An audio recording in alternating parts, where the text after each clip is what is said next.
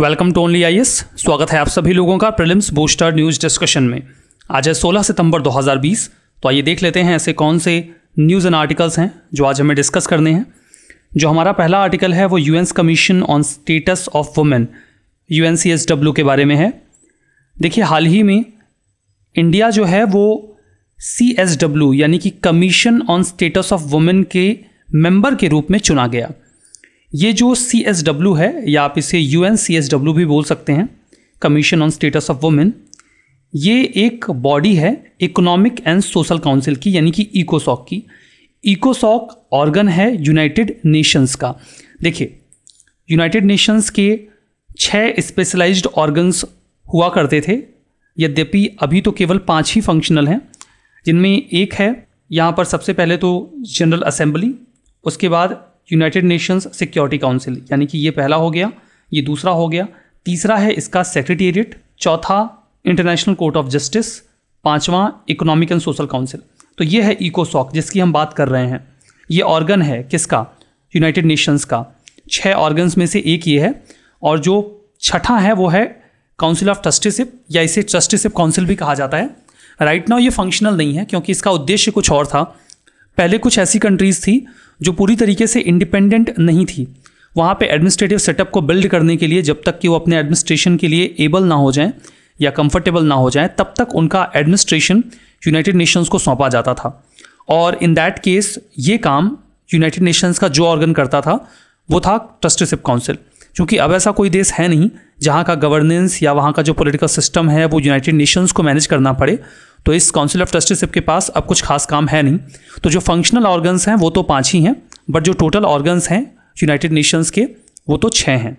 तो यहाँ पर जो हम बात कर रहे हैं, वो इकोनॉमिक एंड सोशल काउंसिल की बात कर रहे हैं, यानी कि इकोसॉक के बारे में हम बात कर रहे हैं, और इकोसॉक की ही एक बॉडी है commission on status of women जिसके मेंबर के रूप में अभी इंडिया को इलेक्ट किया गया है।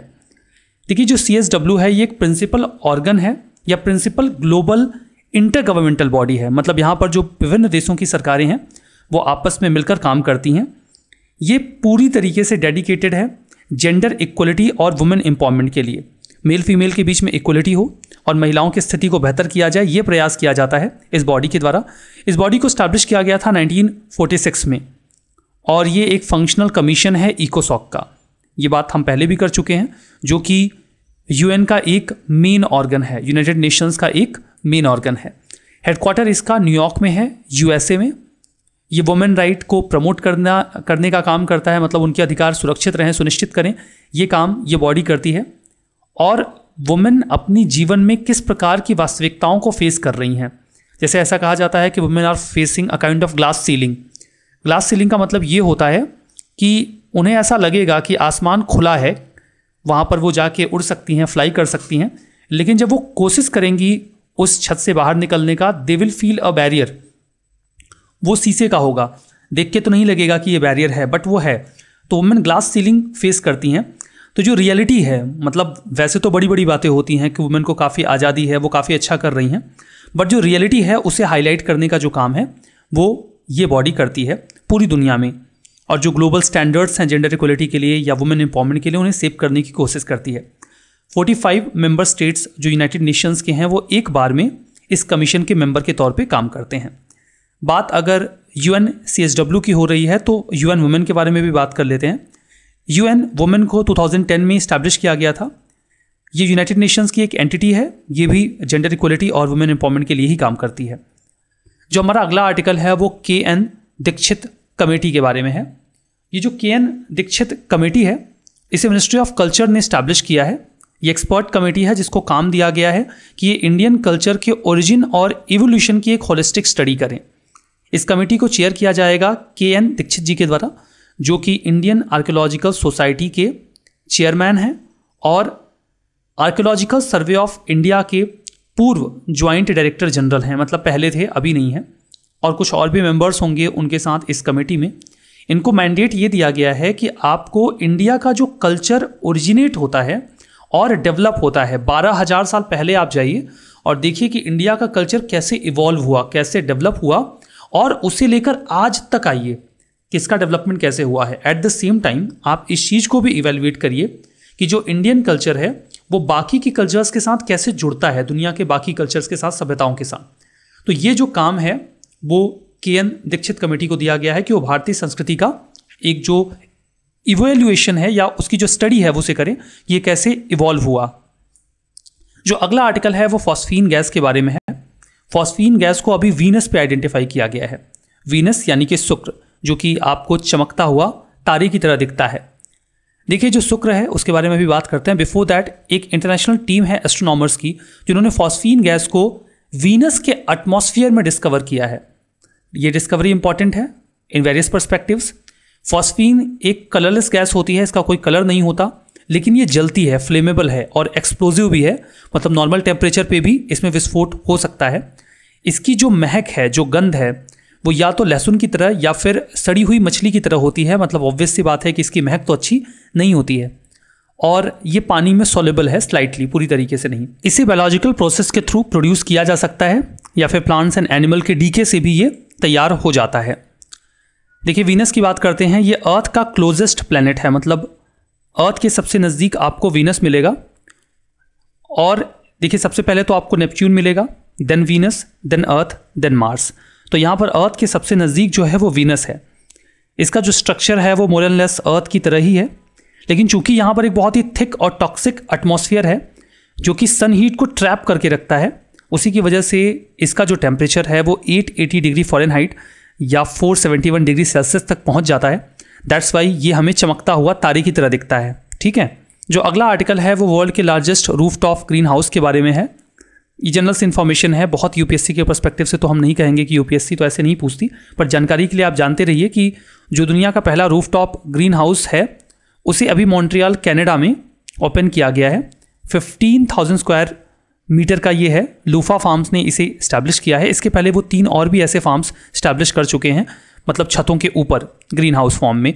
ग्रीन हाउस देखिए एक ऐसा मैकेनिज्म होता है जिसमें हीट को ट्रैप किया जाता है। मतलब वो उस लोकेशन की टेम्परेचर को ना तो बहुत ज़्यादा गर्म और ना ही बहुत ज़्यादा ठंडा होने देता है।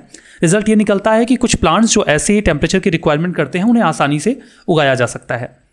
जो अगला आर्टिकल है वो हिल्सा फिस के बारे में है। हाल ही में कॉमर्स मिनिस्ट्री ऑफ़ बांग्लादेश ने एक स्पेशल परमिशन ट्रेडर्स को दे दी है।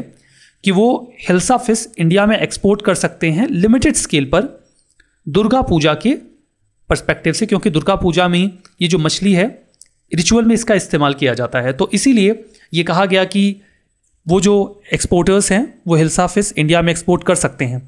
ये एक साल्ट वाटर फ़िश है, जो कि बे ऑफ़ बंगाल से माइग्रेट करते हुए गंगा के फ्रेश वाटर्स में एंट्री करती है और वहाँ पे स्पॉन करती है, यानी कि अंडे देती है।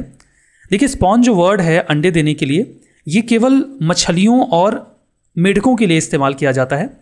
आप मुर्गी के लिए स्पॉन वर्ड का इस्तेमाल नहीं कर सकते, क्योंकि जो मुर्गी है वो ले करती है अंडे स्पॉन नहीं करती।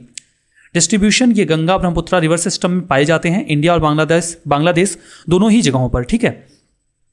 ये एक हेरिंग जो स्पीसीज़ है फ़िश की, उसी प्रजाति से बिलोंग करती है और क्लूपैडी जो एक फैमिली है, उसी की ये स्पीसीज़ है। खैर, ये तो यूपीएससी आपसे नहीं पूछेगी। आयुष्मान रेड लिस्ट में इसका स्टेटस थ्रेटेंड है? ये आप जानते रहिए, ये यूपीएससी आपसे पूछ सकती है।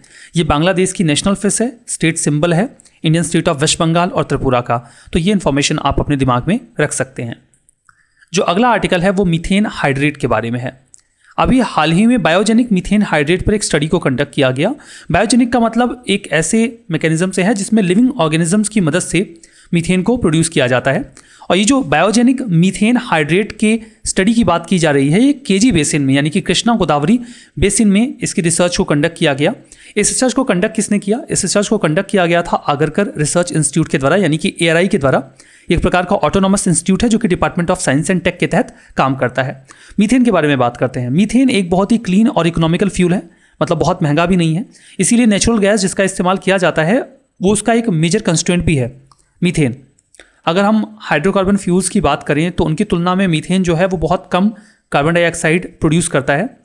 इस लिहाज से और मतलब ईच यूनिट ऑफ़ हीट जो ये जनरेट करता है, उसके लिए सी का रिलीज़ बहुत कम करता है। तो कंपेरेटिवली ठीक है ये एटलीस्ट हाइड्रोकार्बन फ्यूल्स की तुलना में, ठीक है? मीथेन हाइड्रेट की बात करते हैं। देखिए, ये एक प्रकार का सॉलिड क्लैथरेट कंपाउंड होता है। क्लैथरेट का मतलब यहाँ पर यह है कि आपको क्रिस्टल स्ट्रक्चर में मिलता है सॉलिड फॉर्म में। और ये जो क्रिस्टल स्ट्रक्चर आपको सॉलिड फॉर्म में मिलता है, इसमें बहुत बड़ी मात्रा में मीथेन ट्रैप्ड रहता है। मतलब एक छोटा सा क्रिस्टलाइन सॉलिड फॉर्म आपको मिलेगा। इसके अंदर जो मीथेन गैस होगी, उसकी मात्रा बहुत ज़्यादा होगी। दैट इज़ द रीज़न कि जो मीथेन हाइड्रेट है, इसको लेकर साइंटिस्ट काफ़ी इंटरेस्टेड रहते हैं। अब यहाँ पर देखिए, इसमें देखिए क्रिस्टल स्ट्रक्चर होता है।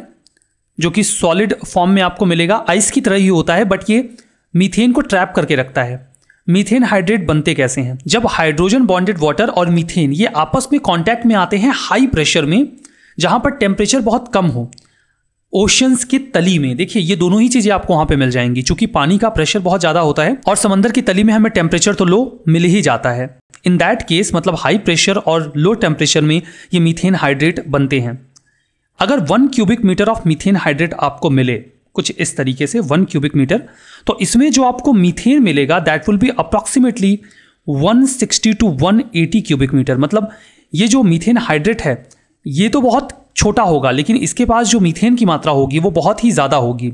इसलिए ऐसा कहा जा रहा है कि मीथेन हाइड्रेट के लिए जो स्टडी की जा रही है के जी बेसिन में अगर वो हमें मिलता है, अगर हम उसे कम भी एस्टिमेट करें तो जो फॉसिल फ्यूल रिज़र्व दुनिया में पूरा है उसका दुगना हमें यहाँ पे मीथेन मिल जाएगा। ऐसे स्पेकुलेशंस हैं, अब वो तो बाकी रिसर्च के बाद ही पता चलेगा। यहाँ पर देखिए बताया गया है कि कैसे समंदर की तनी में जो सेडिमेंटेशन आता है मतलब जो ये मिट्टी जमा हो जाती है, उसी के नीचे हमें मीथेन हाइड्रेट मिलता है, जिसमें मीथेन गैस जो है वो ट्रैप्ड रहती है। अगला आर्टिकल बुद्धिस्ट साइट्स के प्रमोशन के बारे में। मिनिस्ट्री ऑफ़ टूरिज़्म ने अभी जो टूरिज़्म रिलेटेड इंफ्रास्ट्रक्चर और फैसिलिटीज़ हैं वेरियस बुद्धिस्ट साइट्स पर उनके डेवलपमेंट के काम को आगे बढ़ाने का मन बनाया है। कई सारे इनिशिएटिव्स या स्कीम्स लॉन्च किए गए हैं इस पर्पज़ से। जिनको और इफेक्टिवली इम्प्लीमेंट करने की बात की जा रही है। पहला तो है स्वदेश दर्शन स्कीम, जिसमें हम कई सारे स्पिरिचुअल सर्किट्स डेवलप करेंगे, उसमें बुद्धिस्ट सर्किट भी डेवलप किए जाएँगे। टोटल तेरह थीमेटिक सर्किट डेवलप किए जाने हैं, जिनमें बुद्धिस्ट साइट्स को भी प्रमोट किया जाएगा। सर्किट कुछ इस तरीके का मैकेनिज्म होता है कि आप वेरियस पिलग्रिमेज साइट्स को लिंक कर देते हैं। लिंक करने का मतलब यह है कि आप एक साइट पर विज़िट करने के बाद इजीली दूसरी और तीसरी साइट पे जा सकते हैं, जिससे कि स्पिरिचुअल टूरिज़्म भी अच्छी तरीके से डेवलप हो पाएगा। Apart from that Prasad scheme Prasad का फुल फॉर्म है the pilgrimage rejuvenation and spiritual augmentation drive scheme देखिए, इसमें थर्टी प्रोजेक्ट्स हैं, जो कि पिलग्रिमेज लोकेशंस के इंफ्रा को डेवलप करने की बात करते हैं। आइकॉनिक टूरिस्ट साइट इसमें बोध गया, अजंता और एलोरा इन्हें आइडेंटिफाई किया गया है। आइकॉनिक टूरिस्ट साइट के रूप में इन्हें डेवलप किया जाएगा। बुद्धिस्ट कॉन्क्लेव जिसमें बातचीत होती है वेल स्टेक होल्डर्स के द्वारा अल्टरनेट ईयर्स पर, जहाँ पर बुद्धिस्ट डेस्टिनेशन को डेवलप करने, प्रमोट करने की बात की जाती है। और है डाइवर्सिटी ऑफ़ लैंग्वेजेस देखिए, कई सारे जो बुद्धिस्ट साइट्स हैं, उन पर जो साइनेज है साइनेज मतलब वो निशान जिस पे हम बताते हैं कि आपको अब इस तरफ़ जाना है, दाएँ जाना है, बाएँ जाना है, आपको ये लोकेशन यहाँ पर मिलेगी, इसे साइनेज कहा जाता है। तो अब साइनेज को वेरियस अदर लैंग्वेजेस में भी वहाँ पर इंस्टॉल किया जा रहा है, जैसे कि उत्तर प्रदेश में जो बुद्धिस्ट मॉन्यूमेंट्स हैं, वहाँ पर चाइनीज़ लैंग्वेज में साइनेज लगाया गया, ताकि जो चाइनीज़ पिलग्रिम्स हैं, उनको हम यहाँ पे आकृष्ट मतलब उन्हें हम आकृष्ट कर सकें कि वो यहाँ पर आएँ और इन साइट्स को विज़िट करें।